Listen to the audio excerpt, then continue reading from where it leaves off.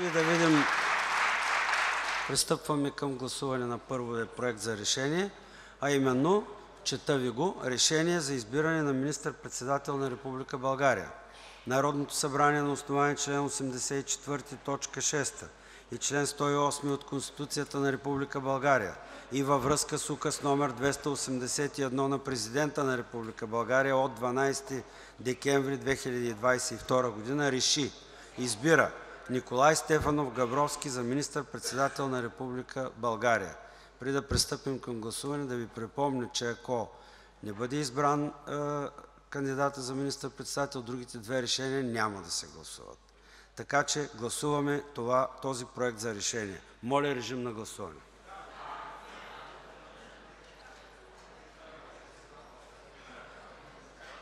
Има ли народни представители, които не са успели да гласуват?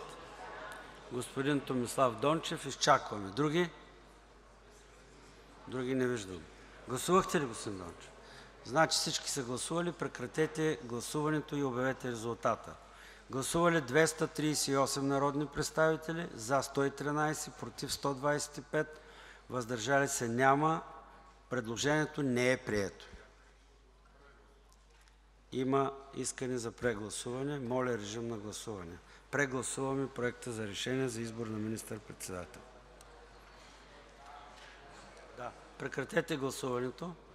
Гласували 238 народни представители: за 113, против 125, въздържали се няма. Предложението не е прието.